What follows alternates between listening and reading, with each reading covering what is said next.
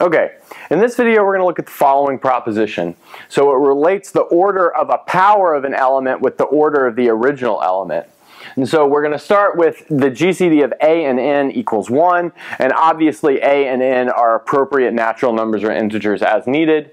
Um, and we have the order uh, modulo n of a to the kth power, so that will be equal to the order modulo n of a divided by the GCD of k and the order of A modulo n. Okay, good. So uh, let's look at the proof. So for ease of notation, we're going to start off by setting D equal to this GCD. So we have the GCD of K um, and the order of N modulo, sorry, the order of A modulo N. And so now what I want to notice here is that because D is the greatest common divisor of these two numbers, that means D is a divisor of these two numbers, which tells us that uh, we have the following like really simple observation that um, maybe, maybe we should point out because otherwise some of our calculations will look a little bit suspicious, and that is that K over D and the order modulo n of a over d, these are both natural numbers. Because k is a natural number, this order is a natural number, and then d is a divisor of each. So when you divide it out, you still get a natural number. Okay, so now that we have all of this set up, we can um, build our argument based on two facts. And uh, maybe one of them is as follows. So we'll take A to the k to the power of the order uh, modulo n of a divided by d. And so again, notice that this is a natural number. So taking it to this exponent is allowed. And now using exponent rules, we can simplify this a little bit. So this is a to the order modulo n of a all of that to the k over d power. Okay, great. But that is equal to 1 to the k over d power. And again, that's a natural number. So if we raise 1 to a natural number, we get that this is all congruent to 1 mod n. Okay, great. So from this, we can like really quickly see that the order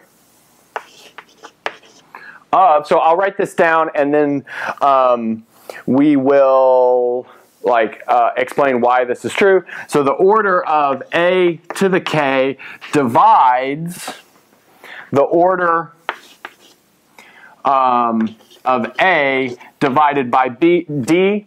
So we had a previous proposition that um, built this. So if you raise something uh, to an exponent and you see that you get 1, it means the order of this element must divide that exponent.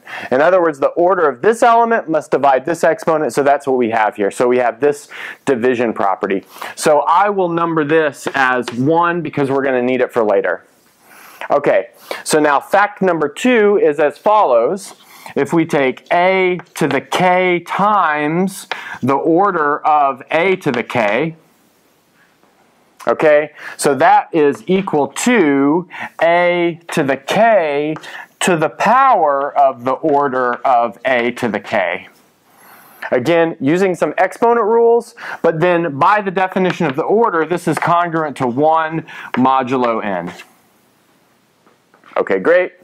And now we're going to use this uh, same rule that this exponent must divide the order of this element. So in other words, we can take, um, sorry, the order of this element must divide this exponent. So we have the order of A must divide K times the order of A to the K.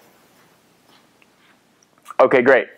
So the next thing that we want to do is divide both sides of this thing by uh, the greatest common divisor of K and the order of A, in other words, by D. And so this is allowed by some general properties of divisibility and the greatest common divisor, so I won't go over that. So that tells us the following.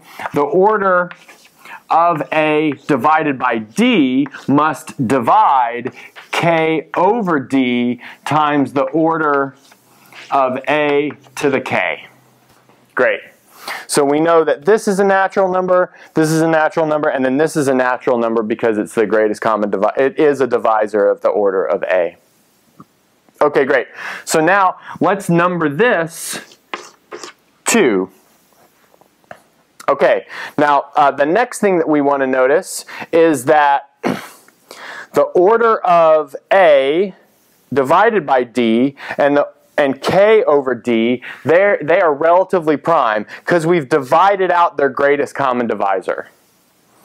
So what that tells us is that this equation, we can cancel the k over d. So we know that order of a over d cannot divide k over d because their GCD is 1, so that means it must divide the other one. So we have the order of A over D must divide the order of A to the K. Okay, good. And so let's call that equation 3. And now let's look at equation 1 and equation 3. And notice that we have mutual divisibility, right? So order of a to the k divides this quotient, and now this quotient divides the order of a to the k, which means that they are the same. In other words, the order of a to the k is equal to the order of a divided by d. But that's exactly what, what we wanted to show after we have our setup. Okay, good. So that's the end of this proof.